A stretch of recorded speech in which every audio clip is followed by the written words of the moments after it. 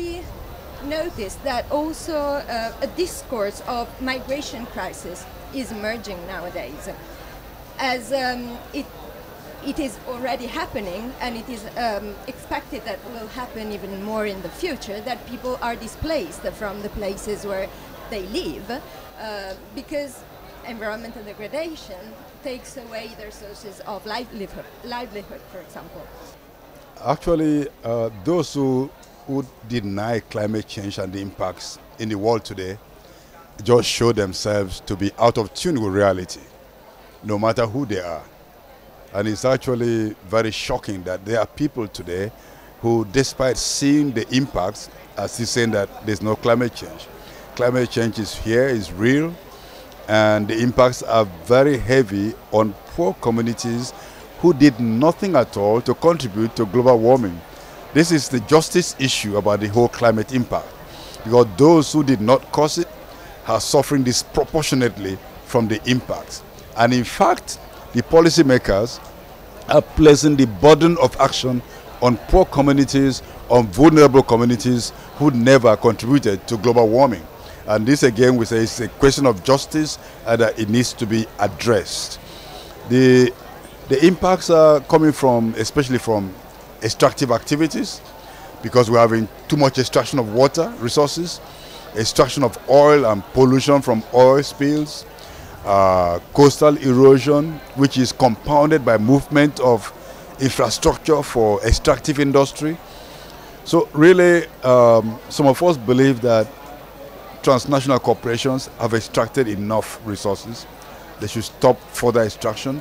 And now is the time to invest in restoring the environment because the damage has been enormous. And the damage has not, I mean, the extractive activity is built by the thinking that nature is just an object to be exploited, to be transformed, to be exchanged for profit, and not anything to be respected. That we are superior to nature. We want to make nature more efficient and by all the actions and activities of human beings, we are compounding the problem of global warming. And now to take actions to stop climate change would mean, for example, to keep the carbon in the ground, to keep the oil in the ground. Because once you extract it, you're going to burn it. You're going to release more carbon into the atmosphere. And this does not show that we understand the enormity of the problem that we're confronted, confronted with right now. What do you think is the relationship between the capitalist system extractivism and forced migrations in this context? Uh, right. Um, the connection between forced migration, extract extractivism, and overexploitation of nature is so real and it's a direct relationship.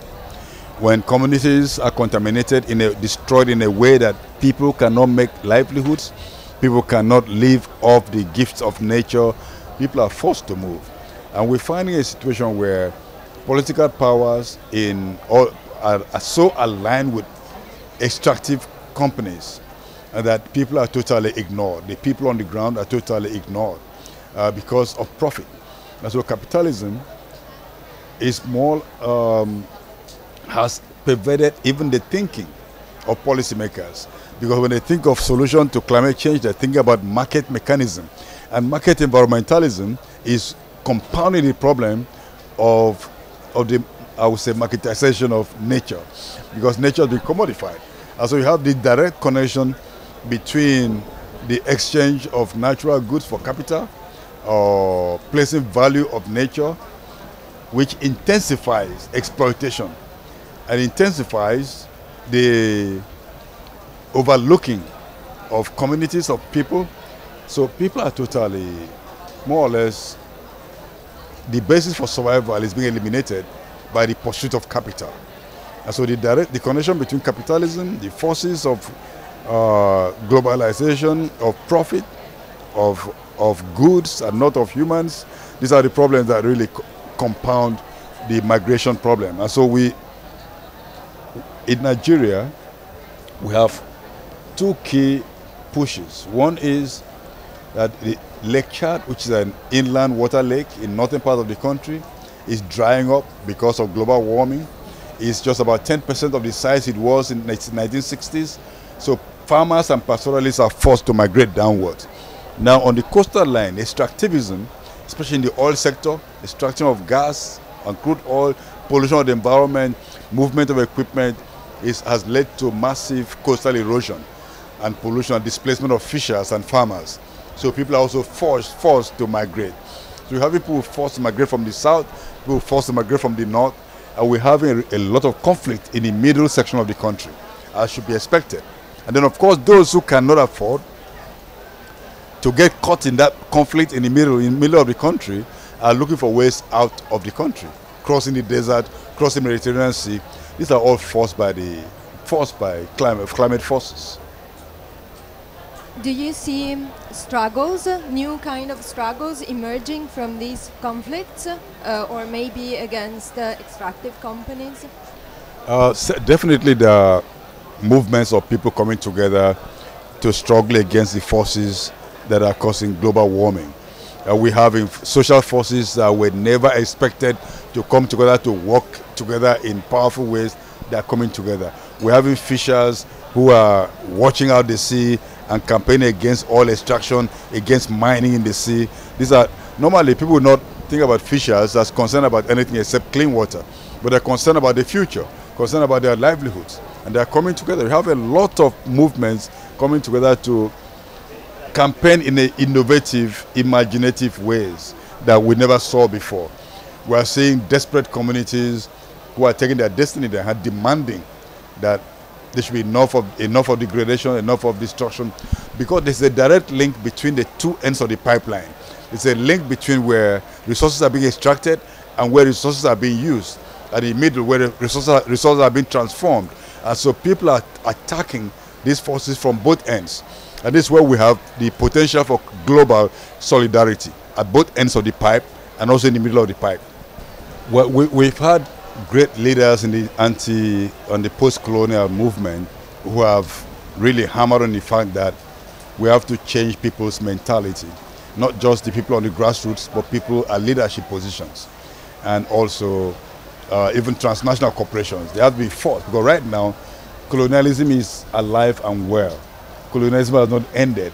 It's just that governments are now running the show on behalf of corporations or, co or sometimes corporations run the show on behalf of governments, on behalf of former imperial masters. So the struggle now is to dismantle this, dismantle corporations and stop the corporate capture of government, St stop corporate capture of global multilateral spaces, so that people can think like humans. People can think and know what affects other people. This, this is a big challenge. I think, I think this is the direction that campaigns have to intensify because corporations sometimes they claim to be human to have the same rights as human beings but they don't want to receive the punishment that human beings receive when they commit crimes so we need crimes we need crimes like ecocide to be recognized at the same level as war crimes as crimes against humanity so that when corporations commit such crimes they should be the directors of the corporations should be held personally liable for the environmental degradation but right now they just hide behind military, behind the corporate shield, and you know they are not accepting accountability or responsibility for all the crimes they're committing. So the, the direction of the struggle now is to to reform or re to change the legal framework so that co corporate leaders should be held personally accountable for the great crimes they're committing around the world. And also corporations should be held. I mean, um, their goods and their whatever the assets are should be sold. And now is the time to begin the cleanup of the commission, the mine pits, the oil wells, stop the gas flaring, all the all the location, the crime scenes where profit has been extracted. We have to visit all of them and hold the corporation accountable for the crime they've done. Otherwise, Mother Earth is sunk.